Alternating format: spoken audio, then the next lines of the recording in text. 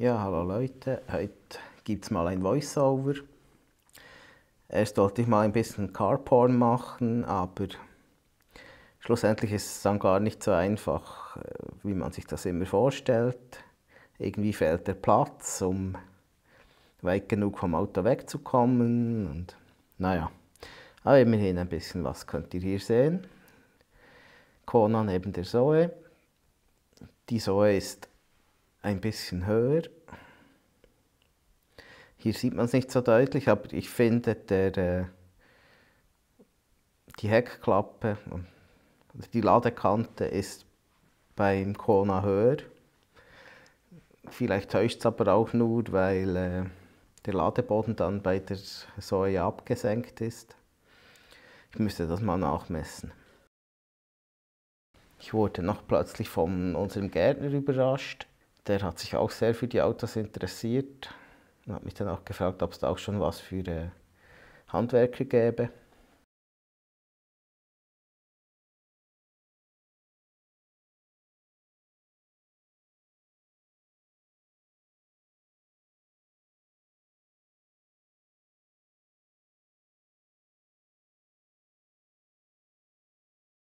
Hier ihr die Sitze. Gleich mache ich auch noch eine Sitzprobe hinten. Danach wurde ich auch gefragt. Hier seht ihr übrigens das Dock-Styler-Bettchen. Das passt nicht schlecht.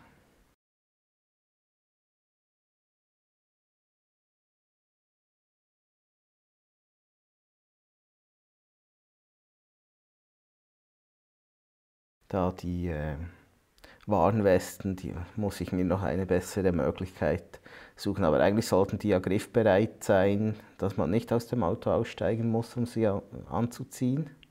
Aber es sieht ein bisschen blöd aus so mit diesen. Und es dehnt mir diese Netze, die sind nicht so groß.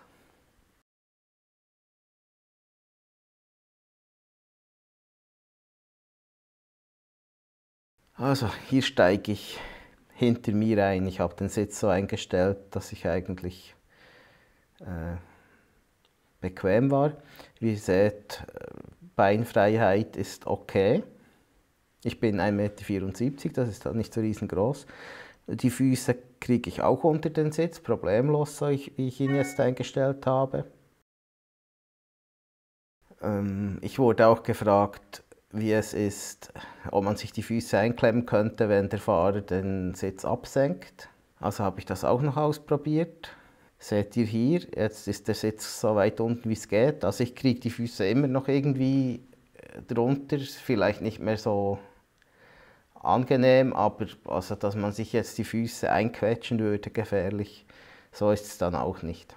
Da habe ich schon mal äh, versucht, euch ein Problem zu zeigen, aber ich mache jetzt gleich ein eigenes Video mit Problemen.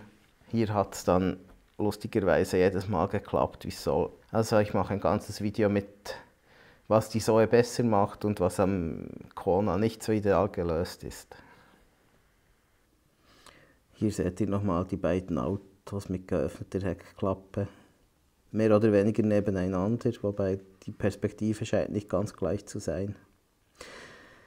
Dann hier das besonders Schöne, die Reichweite, die mir noch angezeigt wurde, bevor ich weggefahren bin heute und hier jetzt bei der Rückkehr ist immer noch 51 Prozent, obwohl ich gestern nicht aufgeladen habe und auch da nur auf 70 Prozent. Okay, also hier sind wir, bin ich jetzt unterwegs und versuche den Abstandstempomaten das Head-Up-Display funktioniert übrigens in echt viel besser, als es hier auf dem Handyvideo aussieht. Es ist groß und scharf zu sehen.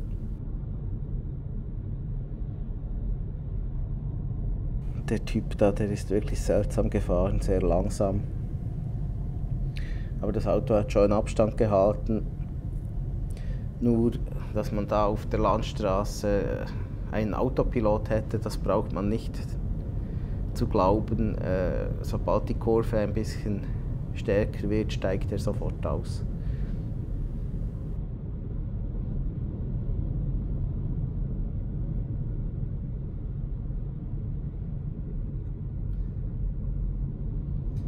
außergewöhnlich seltsamer Fahrer hier vor mir, aber Auto hält gut Abstand.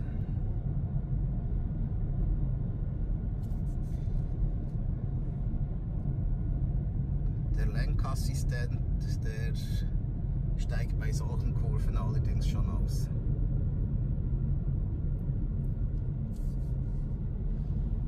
Allerdings positiverweise ohne großes Gepiepse das Lenkrad.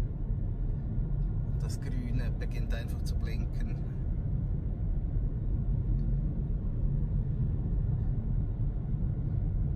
Aber ich nutze das ja sowieso nur als Assistenzsystem. Ich nehme nicht die Hände vom Lenkrad. Mein Gott, wie fährt der? Hier ist 80 und der fährt 40. Also gut, jetzt hier ist 60 darf nicht lügen, wenn es das Auto schon selbst korrekt anzeigt.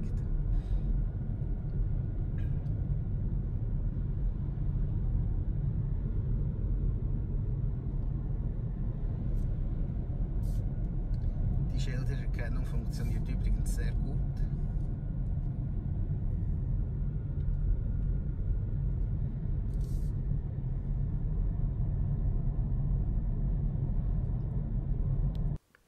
Ich wollte euch dann noch vorführen, wie das Auto selbstständig anhält, ähm, wenn die Autos vor einem anhalten. Hat dann leider nicht geklappt, weil, weil eine Vespa plötzlich rübergezogen ist und da habe ich vor Schreck selbst gebremst. Aber es funktioniert also und wenn äh, der Vordermann innerhalb von drei Sekunden weiterfährt, dann fährt das Auto auch selbst wieder an. Wenn äh, der Vordermann länger als drei Sekunden steht, dann muss man kurz aufs Gas tippen oder beim Cruise Control Plus oder Minus drücken, damit er wieder losfährt.